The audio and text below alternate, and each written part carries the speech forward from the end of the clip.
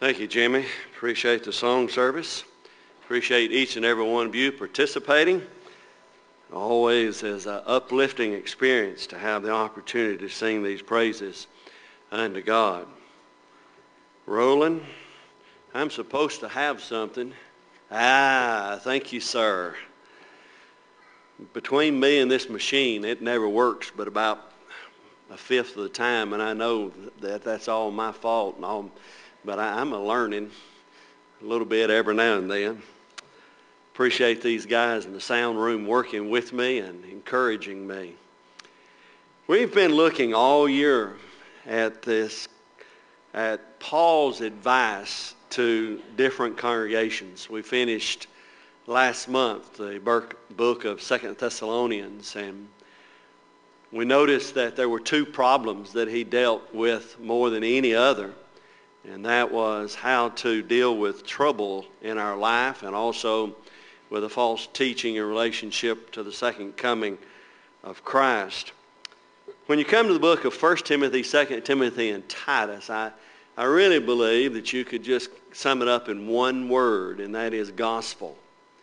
Uh, he is going to advise the church and Timothy and Titus especially in relationship to the uh, importance of maintaining sound doctrine.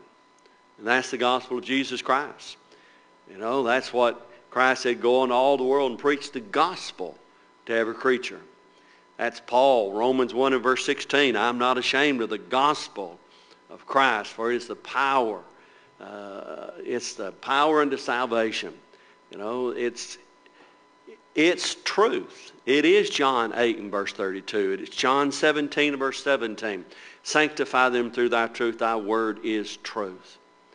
Uh, when we get away from the word of God is when our problems are going to begin. I want you to start with me in 1 Timothy chapter 1, beginning in verse 1. I want to read the first five verses.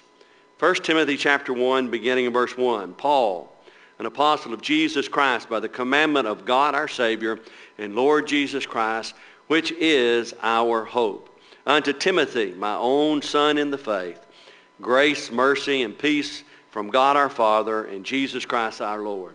Now notice verses 3, 4, and 5 in particular. As I besought thee to abide still at Ephesus when I went into Macedonia, that thou mightest charge some that they teach no other doctrine. He gets right to the heart of the matter. Uh, I'm, I'm going to give you a warning, is what he's saying. I'm trying to help you, Timothy. Uh, you need to stay here and maintain the purity of the truth. Neither give heed to fables and endless genealogies, which minister questions rather than godly edifying which is in faith, so do. Listen very carefully. Now, the end of the commandment is charity. Now, what's the purpose of writing these things in relationship to commandments, gospel, truth, word, whatever you want to call it? What's the purpose in these things? Well, he says the goal is to achieve love. What's the goal here at Adamsville? What should be our goal as a Christian? Look at John 13, 34 and 35. A new commandment I give unto you, that you love one another. A lot of times we have a tendency to um, major in minors and minors in majors. We get hung up on little bitty nothings that mean absolutely nothing. And we want to bite and devour and destroy. And it's got to be our way or somebody's got to hit the road. Is that not true? And you look at the church today and, and you see the splintering and the division that's there instead of what Paul said, here's the whole point. Love. Love. When we look at our lives, can we honestly say that we're doing exactly what Paul said when he was speaking to the church at Corinth, and he said, Charity suffereth long and is kind. Charity envieth not.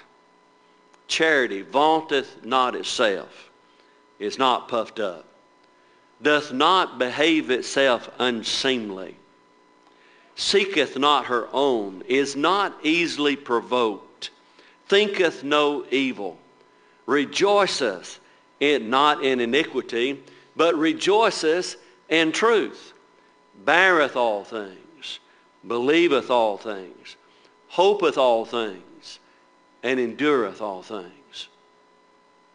When the world looks in at us, do they see a group of people that love each other? Or do they see a group of individuals that at best tolerate each other? There's a big difference between those two. A big difference between those two. We're going to look today at the importance of the end of the commandment.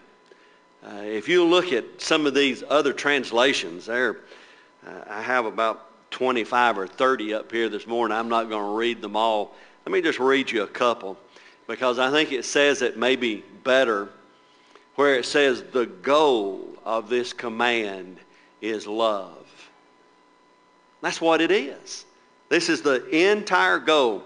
Uh, the New Living Translation says, the purpose of my instructions is that all believers would be filled with love.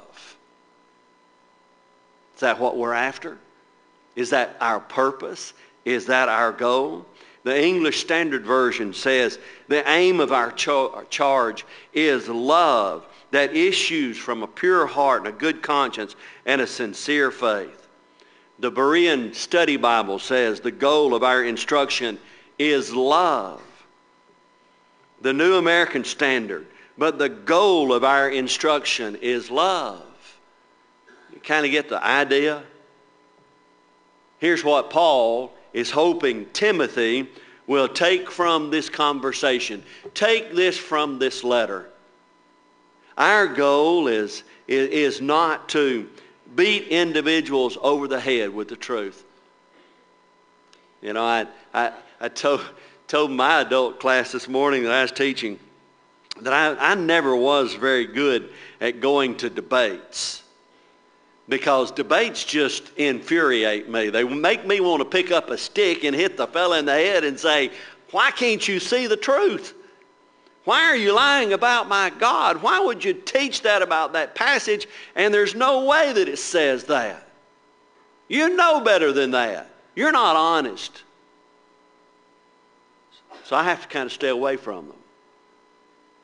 But what I want you to take away from this lesson this morning is this If you don't learn anything else, learn this point.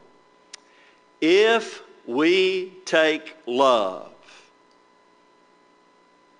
if we take love out of Christianity, it is to destroy Christianity. And if we forget that, brethren, then we're not going to achieve what God would have us to achieve. I think, first of all, we can look at the fact that this is hung up, Roland, and you're going to have to advance the slide. I told you it wouldn't last long. I think there's two things you can see from this passage this morning. There are obstructions. You know, I, I put a road up there to kindly symbolize the fact that we're traveling, and at the end of the road, you saw love, and that's the goal. That's, our, that's where we're headed for. But Paul warns Timothy that there are some obstructions. First of all, he says, don't teach another doctrine.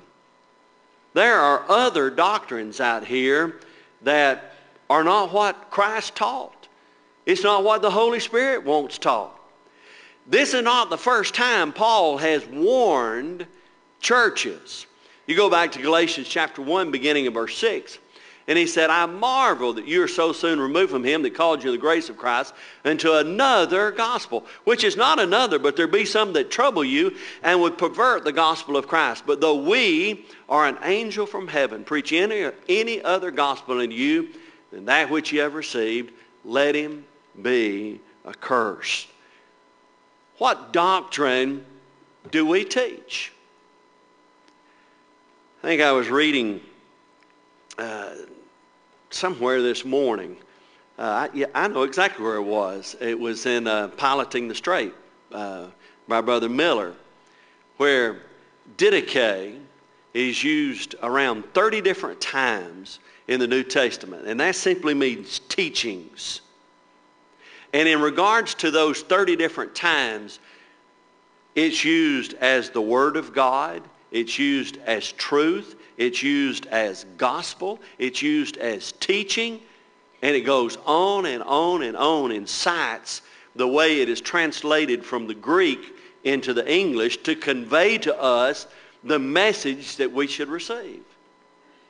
When you're talking about the gospel, you're talking about truth. You're talking about the Word, the Word of God. Nothing more, and nothing less. We have to be careful that others don't slip doctrines in in relationship to what they believe or what they want to practice. Because some people are not interested in the truth. They're interested in promoting the idea that they want. Take your Bibles and look at Hebrews chapter 13 and verse 9. Hebrews 13 and verse 9. I want you to notice what the Hebrew writer says. Be not carried away with divers and strange doctrines. For it is a good thing that the heart be established with grace, not with meats, which have not profited to them that they have been occupied therein. Notice that little phrase, not with meats. What in the world does that have to do with anything? Well, if you'll tie in Romans chapter 14 and the chapter in 1 Corinthians where Paul is speaking about meats idled, uh, uh, offered unto idol and the eating of these meats, which, listen to me, means absolutely nothing. Is there anything wrong with eating a hamburger? I hope not because I like them. I like them. The point that Paul is trying to make is there's nothing in meat that is inherently wrong. Now, the only time that we need to be concerned about this is if we may be causing somebody to stumble, to lose their faith. And that was in re- reference to meats offered unto idols. He said the best thing to, to do is eat the meat and don't ask any questions. That way your conscience won't be bothered anyway. When you look at these doctrines that slip in, and surely there were doctrines in the New Testament church that were being taught that destroyed the body of Christ, not the eating of meats. Take your Bibles and go back to 1 Timothy uh, chapter 4, beginning in verse 1. Now, the Spirit expressed this, that in the latter times some and this is important, shall depart from the faith, giving heed to seducing spirits and doctrines of the devil, speaking lies and hypocrisy, having their conscience seared with a hot iron. What were two of the doctrines that they were teaching? Verse 3, number one, forbidding to marry. Is it wrong to marry? Absolutely not. Can you think of a prevalent denomination in our society today that teaches it's better not to marry? Especially it's wrong for the priests to marry? Hmm. Paul seemed to have a little insight to this years before this doctrine was ever going to come up. Forbidding to marry and commanding to abstain from meats. You've heard me talk about this passage before. I remember growing up as a boy, right here in Adamsville, Alabama, going to the little bitty school that's not much left anymore, headed down towards Shady Grove. Uh, and every Friday, you know what we ate? Fish sticks and french fries. I used to like fish sticks and french fries, so it didn't bother me. But I had no clue as to why it had to be fish sticks until somebody enlightened me one day. It's because this large denomination believes it's wrong to eat meat on Friday. Therefore, you've got to eat fish sticks. Well, the insertion of doctrines that are wrong is nothing new. Paul is warning Timothy right here. You need, there are things that will cause you to get, they're roadblocks. They'll keep you from reaching the goal of love. What is that? Well, one of them's teaching other doctrines. Why do you think there are so many splinters and fractions in the body of Christ today? Because some folks throw up roadblocks. You can't eat in a church building. You got to put a little doily on top of your head if you're going to walk in here. Uh, I made, made mention of, of, this in my adult class this morning. Uh, I was preaching somewhere a month ago, and an older gentleman came up to me afterwards and said, you wear jewelry? Oh, I knew where he was going with that when he started off. I said, well, I've got a wedding ring on. You know that's wrong. That's sinful. I said, no, no, I really don't know that. What, what passage would you use to prove that? And of course, the passage that he's talking about, it's not really talking about the jewelry per se. It's talking about how we perceive it and how we look at it. It's talking about a, a violation of Matthew 6 and verse 33. Seek first the kingdom of God. There's a lot of folks that don't put God first in their life. Some folks, it would be wrong with their jewelry because they're putting it first. It'd be wrong for some of us in regards to, mm, I hate to say this, even Alabama and Auburn football, because we might put that first. It might be wrong in relationship to hunting and fishing because we might put that first. Anything that we put in front of God is wrong. It's wrong. So we need to be careful because these, these type of teachings will cause divisions. Now, the second thing he says in regards to these obstructions, he says you need to be watch out for these fables, these, these stories, these uh, laws that you might create, man-made is what they are. I, I equate it to a passage that you find back in Mark chapter 7, beginning in about uh, verse 6. Well hath Isaiah prophesied of you hypocrites, as it is written, This people honoreth me with their lips, but their heart is far from me. Now, uh, you know, I, I could create a religion and establish anything that I want to do. And, and, and we could call it religion, and we could be sincere about it, and we could be devoted to it. And, and, and we could do anything and every question, what's the basis? What's the standard in relationship to what you do? Well, I created this. It's not the Word of God. Wrong basis, wrong standard.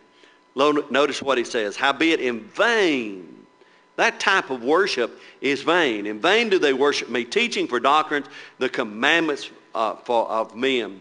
For laying aside the commandments of God, you hold the tradition of men as the washing of pots and cups and many other such things so do. Now, we can create any kind of story that we want to create, but that does not mean it's going to save us. 1 Timothy chapter 4 and verse 7, but refuse profane and old wives' fables. 2 Timothy chapter 4 and verse 4, and they turn away their ears from the ter- truth, and they shall be turned unto fables. Titus chapter 1 and verse 14, not giving heed to Jewish fables. So there's all kind of fables, traditions, man-made laws, but they're not right. They're not the power of God. And, and that's, not, that's not what we need to bring into the body of Christ. That's not going to bring unity. It's going to destroy the unity of Christ. You know, not to get too personal, but how many times have you been in an adult classroom setting and and you know old brother so-and-so or old sister so-and-so that has their pet peeve. And it doesn't matter if you're talking about creation. Well, that, that reminds me of, of this, and, and, uh, and that reminds me of, of Proverbs 22 and verse 6, train up a child in the way that he should go when he's old, he not part from it. And if you don't have that verse, then you don't have any of them. You know, eh, you, they're going to make a fable even out of the Word of God if they're not careful. Because they make it teach what they want it to teach. They give more importance to that passage than they do any scripture. 2 Timothy 3 and verse 16 still says all scripture is given by the inspiration of God. It's all God breathed. I can't point at one and say this one's more important than that one. We have to use them together to obtain what? Well, according to Paul to Timothy, the end of this commandment, the goal, the purpose of this instruction is love. Love. That's what it is. We'll go back to 1 Corinthians chapter 13 at the end of this lesson, and we'll see Paul said, once again, that's the end, the goal of these commandments. The third thing he says, endless genealogies. I, you know, you could spend a lot of time uh, dealing with this, but let me point one passage out to you this morning.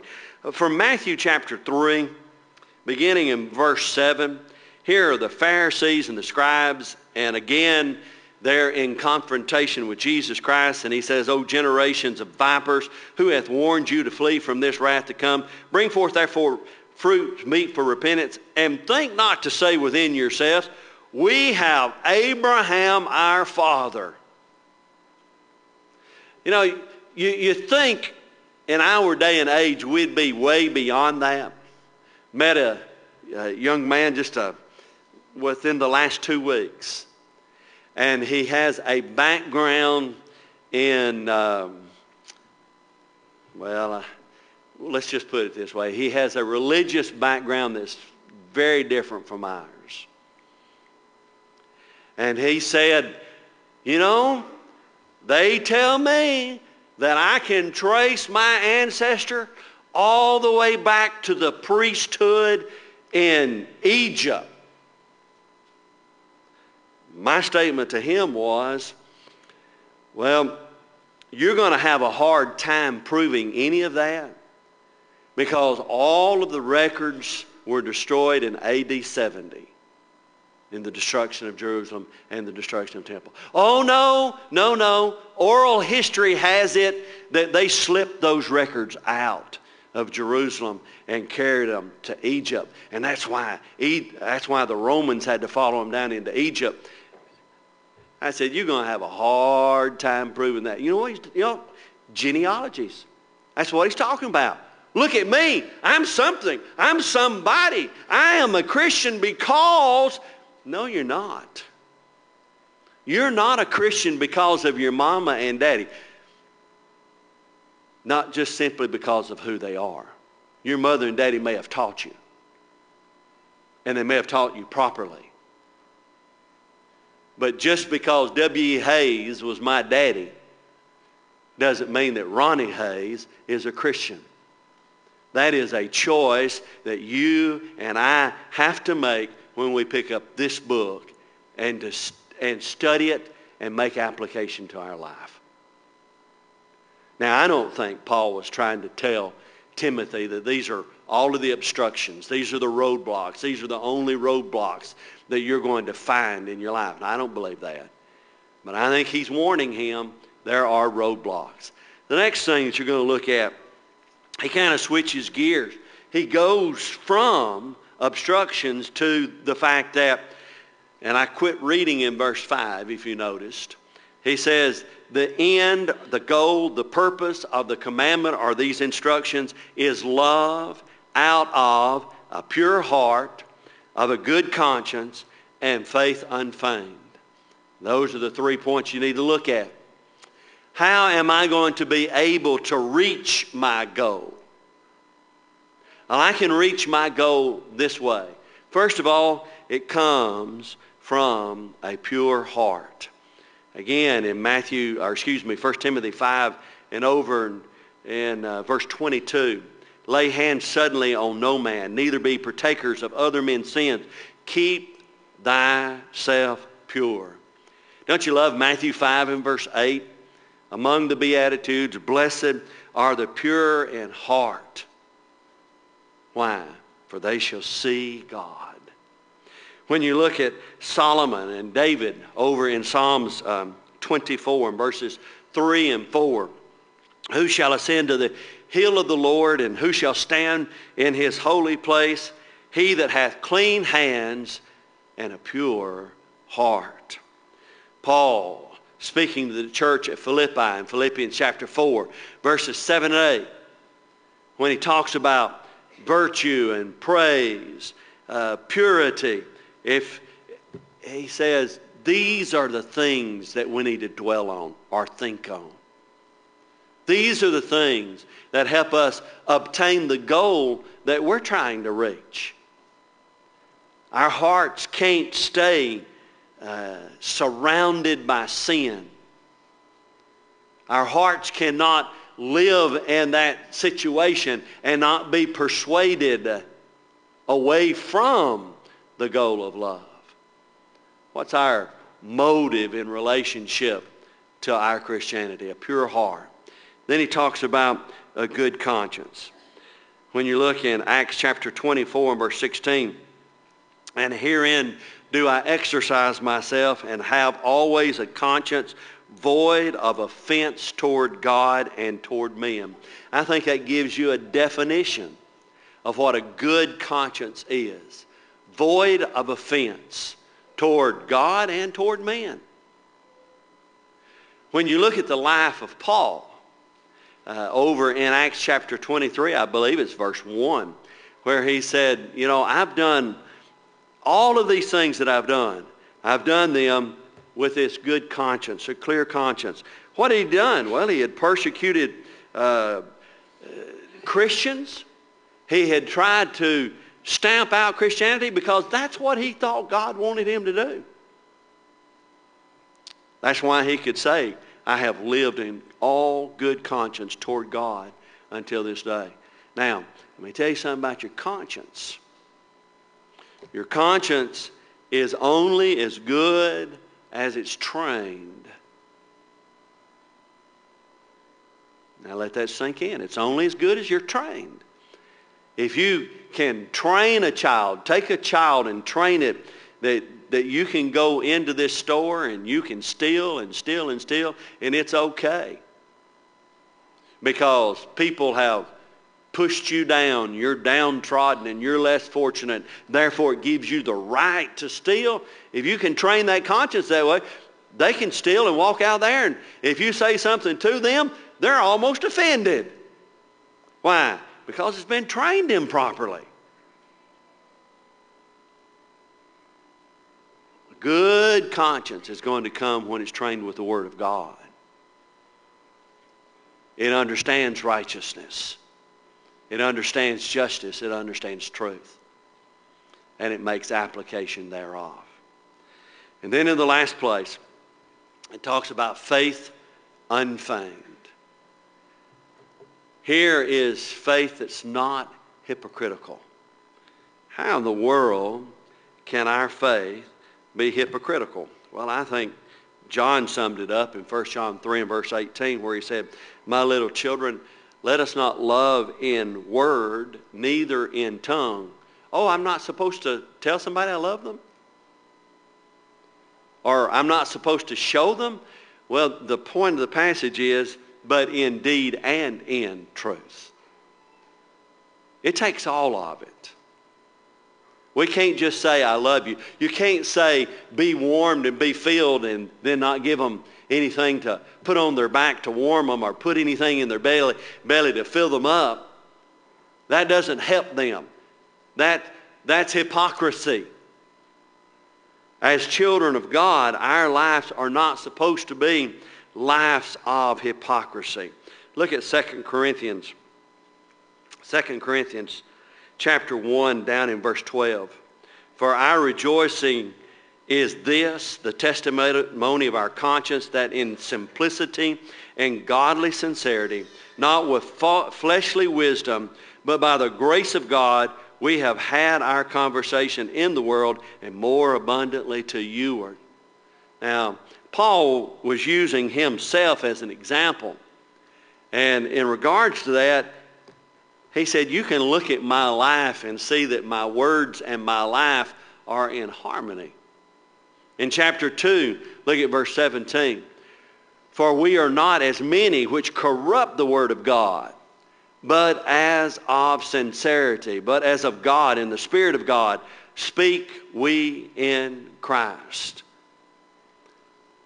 I remember when I was at Memphis School of Preaching, one of the things Brother Hearn used to say to us was, fellas, there's a lot of times that, that uh, preachers' lives ruin their opportunity to be faithful and good and useful in God's kingdom. He said there's a lot of preachers that don't never need to get in the pulpit, and he said there's a lot of preachers that don't ever need to get out of the pulpit. And the whole point was, is is your life destroying what you're teaching or is your teaching destroying? Is there a conflict? Is there hypocrisy? That's not what we that's not what we represent, or at least that's not what we should represent. I want to close, as I said, let's go back to 1 Corinthians chapter 13. 1 Corinthians 13, we read 4, 5, 6, 7 a while ago.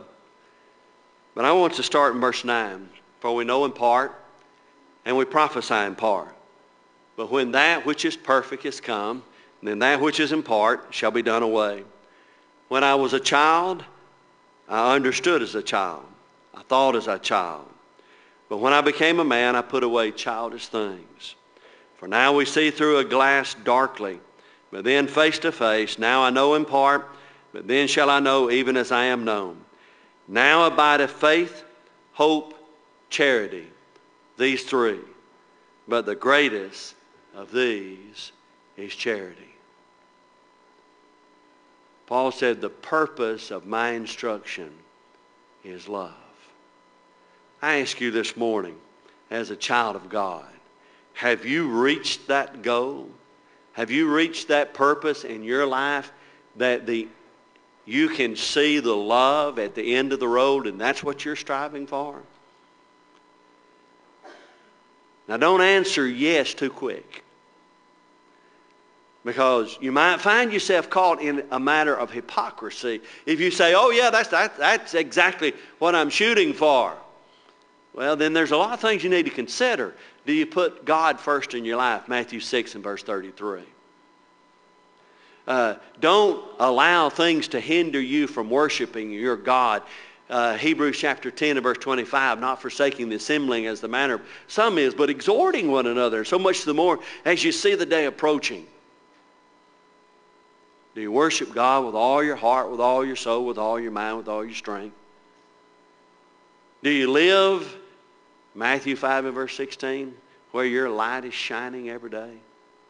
Or do you on occasion become ashamed? Paul said, I'm not ashamed, Romans 1 and verse 16. But do we become ashamed and put our candle under that bushel so it doesn't give light? No. It's our responsibility to let that light shine. What's your goal? The goal is love. If you're here and you've never been obedient to the gospel of Jesus Christ, you want that goal as your goal in your life, then start the journey. Start the journey on that road. How do you do it? It's through hearing God's word, Romans 10 and 17. Believing that Jesus is the Christ, the Son of the living God. When you see that in Mark 16, verses 15 and 16. Confessing his glorious name. Romans chapter 10, verses 9 and 10. When we repent of our sins, Luke 13 and 3. And then we're buried with him in baptism. Acts 22 and verse 16. What's the goal of your life? If you need to change directions, now's the time to do it. If you need to respond, won't you come as together we stand and sing?